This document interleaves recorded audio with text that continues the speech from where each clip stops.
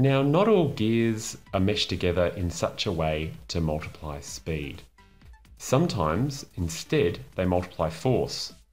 If this is the driving gear, that makes this the driven gear.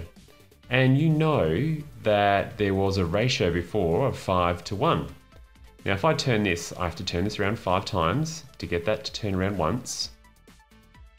So that's a ratio of 5 to 1. We have to turn the black one 5 times to get the grey one to turn once.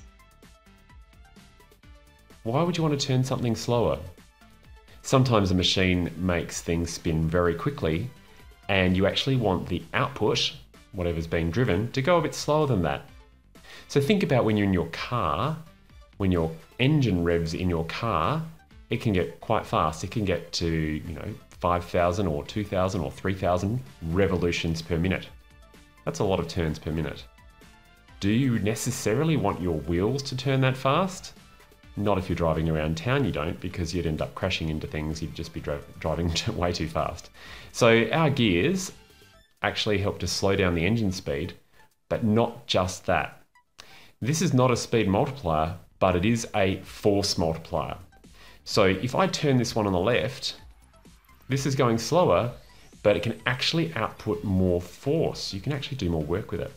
So if I grab hold of that axle and I grab hold of this axle and I try turning both of them at the same time in opposite directions, okay, okay. Even though I'm right-handed, my left hand is actually winning. I can't stop it from turning the other one. And you can try this yourself.